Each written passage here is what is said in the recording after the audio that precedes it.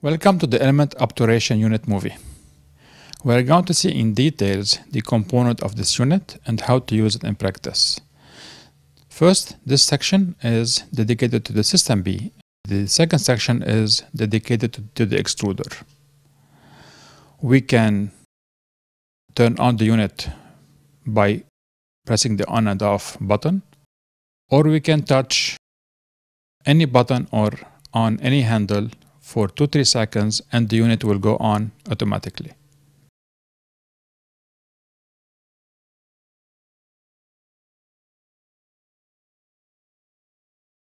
We just touch it, we have a blue LED light for 2-3 seconds and the unit will go on.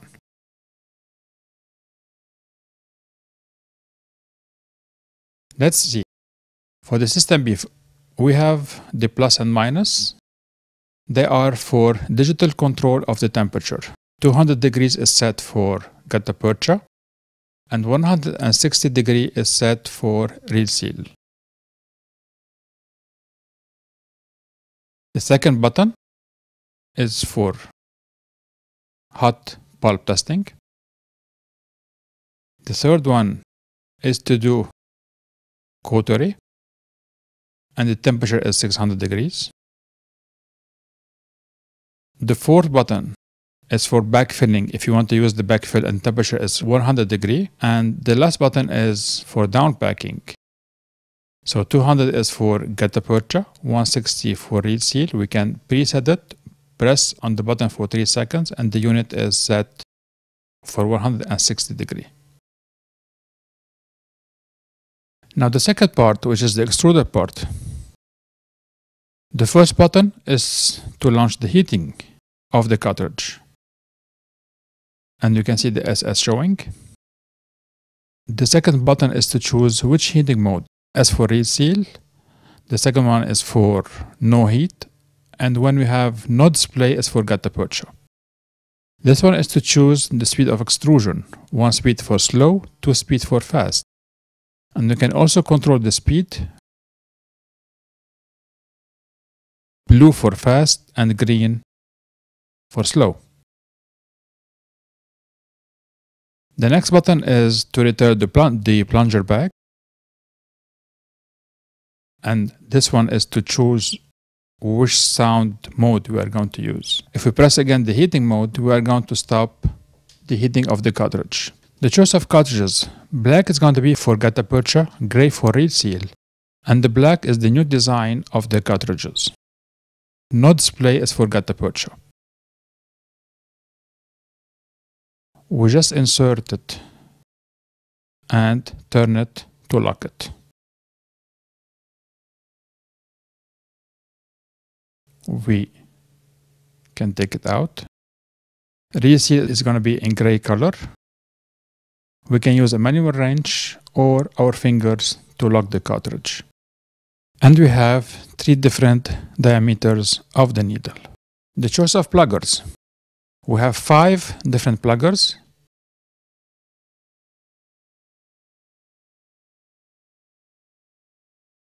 And the new one is going to be the 3004, which is going to be used in narrow and curved canals.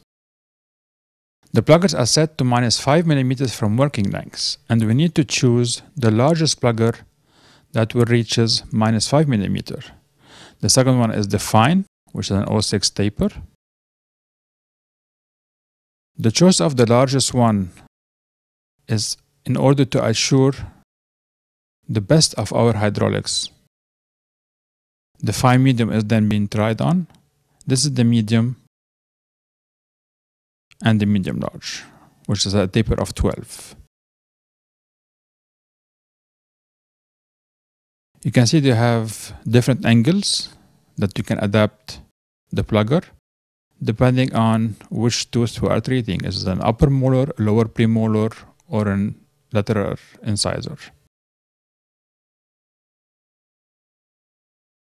The choice of a master cone. The material we are using is RealSeal. We insert the master cone to the exact working lengths. We try the tug back. If you don't have an appropriate tug back, we can cut like millimeter by millimeter from the master cone. And we try it back again. So it needs to be fit at the exact working length with a good tug back. Real seal self-etch sealer is used. The choice of hand pluggers. We are going to try them on. 5 millimeters by 5 millimeters from the working length until the orifice. A bit of sealer on the master cone.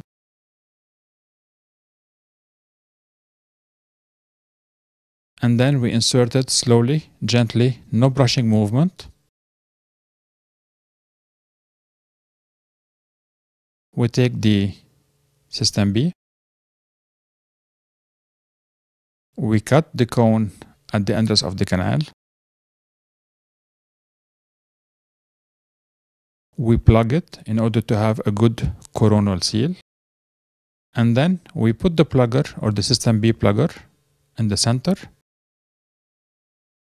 We activate, we go down minus one millimeter, we cut the power, and then we go down until the appropriate working length,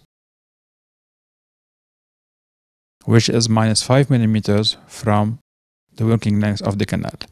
After 10 seconds, we activate for 1 second and we take back the system B. We take a manual plugger and we plug the apical area. A bit of sealer are delivered. It can be delivered with a clean file with a cone or with a paper point. The extruder are being preheated. We take the needle, we insert it gently, slowly, no pressure on the needle. We extrude for like 3, 4, 5 millimeters. It's going to push us back out from the canal. We plug the middle part of the canal with the hand file, with the hand plugger, and then we take the extruder back, we fill it until the orifice, and we plug it. And then at the end, 40 seconds of light curing in order to assure an immediate coronal seal.